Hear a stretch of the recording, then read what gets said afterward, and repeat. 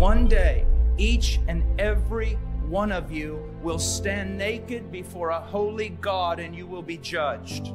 Life and death, heaven and hell. Some of you will hear my voice and go to heaven when you die, and others of you will hear warning after warning after warning, and you will not listen, and you will die under the wrath of God and spend eternity in hell. Young people, listen to me. And you need to be very, very careful. This Christianity is not a cultural thing.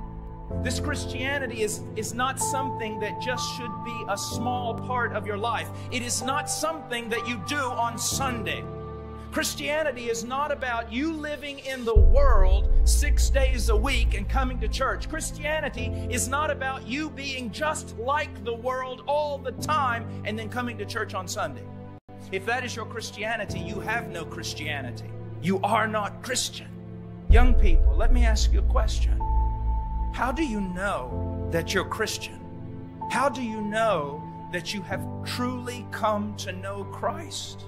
How do you know that if you died right now, you would go to heaven and be accepted by God Almighty before His throne? How do you know? You say, well, it's all of grace. Yes, it is all of grace. We are not saved by works, we are saved by grace. We are saved by believing the promises of the gospel. That is true. But what you need to understand is grace is a powerful thing. That he who has given you grace to repent and believe gives you grace to continue repenting and to continue believing.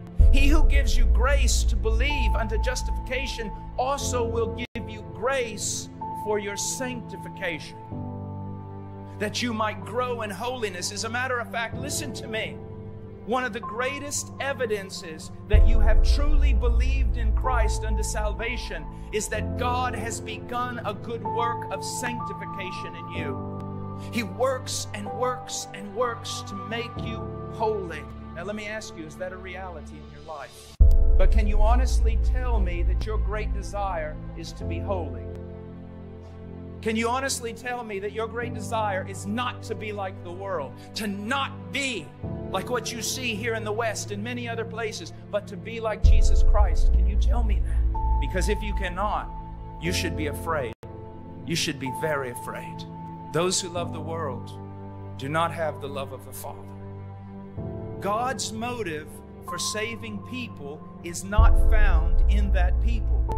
The Bible says that all of us have sinned and fall short of the glory of God. When holy God looks at sinful men, the only thing their sin motivates God to do is judge them, to condemn them.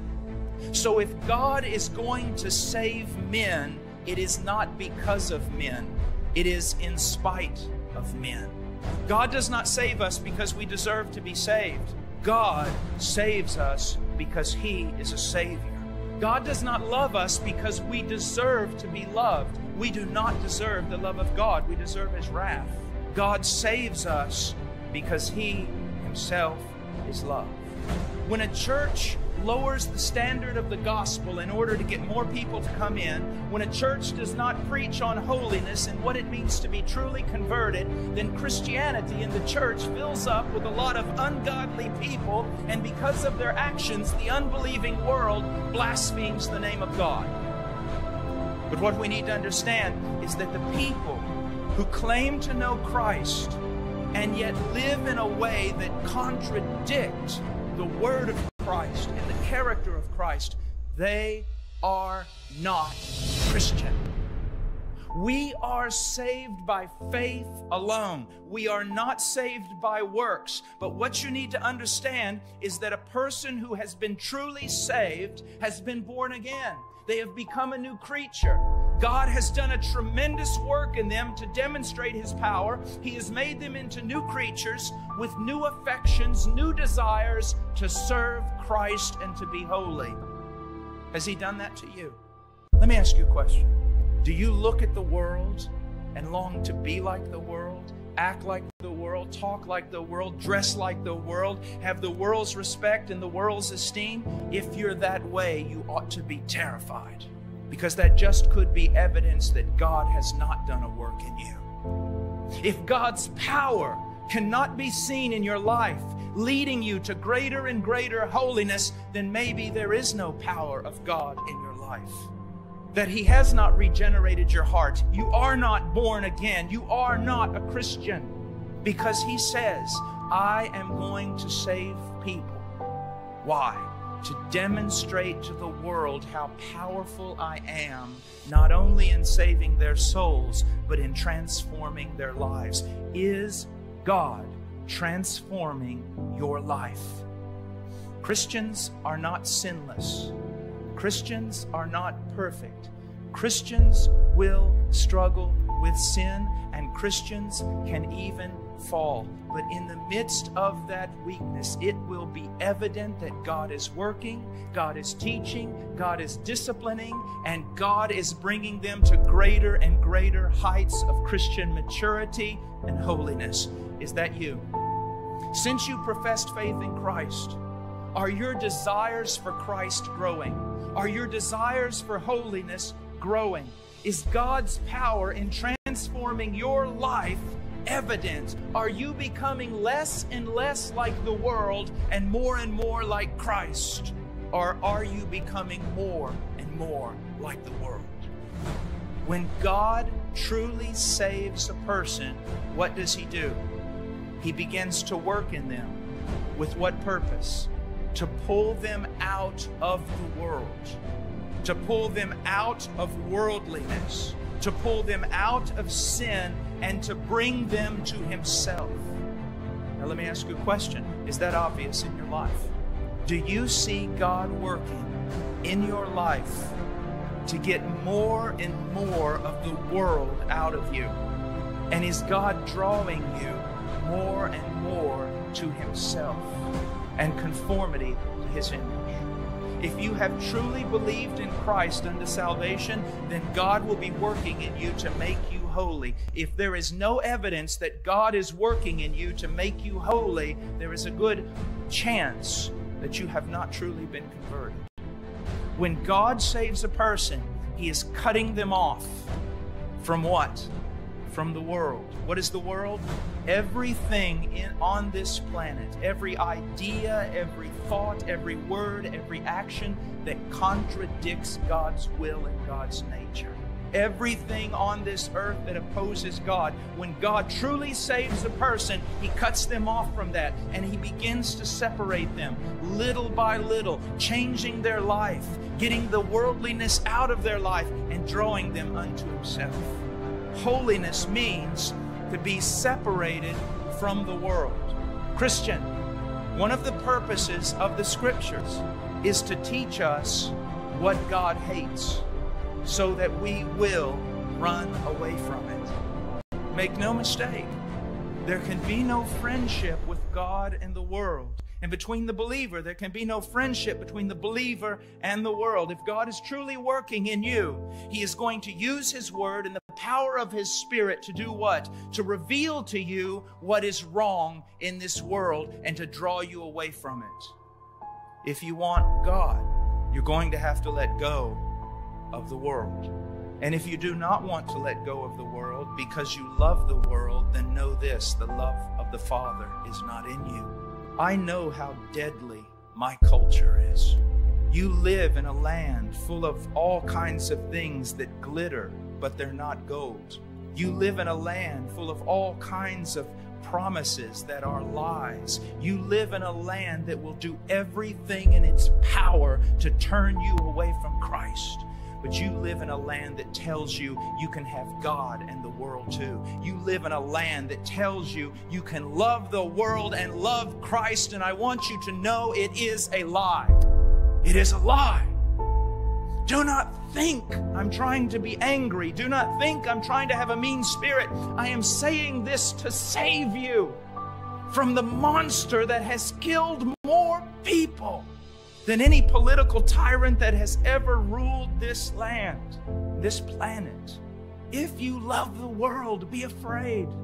Because that could just be an evidence God has never worked in you. You have never believed unto salvation. You have never truly been converted. Because if He truly saves you, He who began a good work in you will finish it. Remember, God saves people to demonstrate how powerful He is. And so, if He begins a work in you, He will finish it. I want you to know that if God has brought you from the condemnation of sin, if He has truly saved you, if He has truly justified you, then the evidence of that is He will continue working in you to transform you. Why? Because every Christian is a demonstration of God's power. He is going to finish the work He has begun because His reputation depends upon it. Can you say, can you prove that since the moment of your conversion, there is evidence that God is working in your life to make you holy. Can you see that? Can you tell me that you are truly a Christian because when you look at the world and it maybe deceives you and draws you to it, that God comes and disciplines you? That when you participate in sin, you can't stand it because the Holy Spirit is so convicting you? Or can you simply call yourself Christian and yet look like the world, act like the world, talk like the world, dress like the world, do everything the world does. One of the things that the Lord will do when He has truly saved a person is again, He will begin to do a work of cleansing them. The moment we believe in Jesus Christ, we are justified and we are right with God through faith. But if we have truly believed, God is going to begin to do a lifetime work of sanctification in us of changing us, of cleansing us from all our filthiness and from all our idols. And I want you to know something He can do it. He is sovereign over the believer, and He can work in that believer's life to make that believer clean. One of the evidences, young people, that you truly belong to God, that He truly is your Father, is that He is involved in your life to make you clean. If you have truly been converted, God has a claim on you. You belong to Him. He is going to change you for His own glory, and He is going to change you because He loves you. He is not going to let you stay the way that you were, and He has the power to change you. If you can live in sin, live in the world, with all your worldly friends, doing all your worldly things, and you can get away with it, and there's no conviction of the Spirit, there's no discipline from God, it is evidence that you are an illegitimate child. You are not truly a child of God. If you love the sensuality of the world, and you love all its boasting, its pride of the eyes, and its, its boasting in the flesh, and all the things that glitters in this world, and you can participate in it without the discipline of the Father, it is because the Father is not your Father. The goal of God in your life is not prosperity, it's not health, it's not wealth, and it's most certainly not your best life now. God's goal, if you belong to Him as a child, is to make you holy, to conform you to the image of Christ. He will cleanse you from your filthiness, He will cleanse you from your idols, and He will be very zealous in doing that. He will do anything that is necessary to make you conform to the image of His Son. Is He doing that in your life? The evidence that you are truly converted is not that one time in your life you prayed a prayer and asked Jesus to come in. The evidence that you are converted is that one time in your life you repented of your sins and you continue repenting today. The evidence that you're saved is one time you believed unto salvation and you continue believing today. The evidence that you're converted is that one time God began a good work in you and He continues working in you today, changing your life, transforming you by His power.